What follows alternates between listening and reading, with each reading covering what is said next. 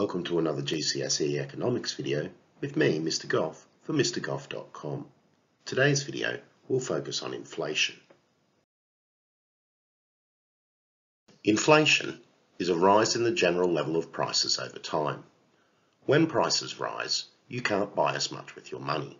It can also be described as the purchasing power of your money having decreased. Your nominal income is the exact amount of money that you earn. However, if there is inflation in a period, then the income will buy less at the end of that period than it did at the start. Your real income takes account of inflation and is a measure of what you can buy with that income. It is unusual for nominal incomes to fall. In fact, most people receive a small raise to their nominal income each year. Real wages, on the other hand, could either rise or fall. It depends on whether the nominal raise in income is higher or lower than the rate of inflation. If you receive a 2% increase in your nominal income, but inflation is running at 4%, you've actually had a 2% decrease in real income because the costs of the goods you were buying have gone up more than your income has. In a similar way to incomes, nominal interest is the amount of interest actually being paid or charged. Real interest, on the other hand, takes account of inflation. If you're paid 4% nominal interest on your savings, but inflation is at 2%, then your real interest rate would be 2%, not 4%. For people with mortgages, inflation lowers the real value of both the interest they have to pay back and the principal that they owe as well.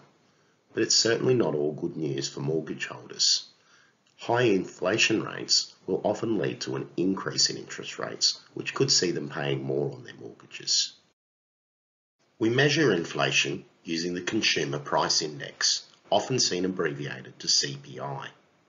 This measures the changes in the cost of a basket of goods and services over time.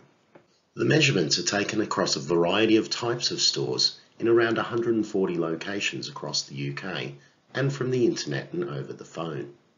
This is to ensure that the Consumer Price Index is reflective of the different prices that are faced by different people in different parts of the country. The basket of goods aims to be representative of the sort of things an average household might buy. It's made up from representative goods from a range of categories. Making up 24% of the items in the basket, food and non-alcoholic beverages is by far the largest category, followed by recreation and culture, and clothing and footwear. Importantly, the items in the basket of goods change to reflect changing patterns in society.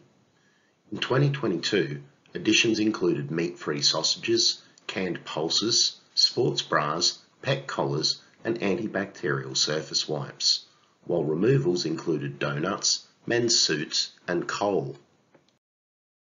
That brings us to the end of this video on inflation. Join me again next time when we'll be looking at how to analyse inflation figures and at the causes of inflation. Try the resources at mrgoff.com to help you revise economics, and until next time, it's bye for now.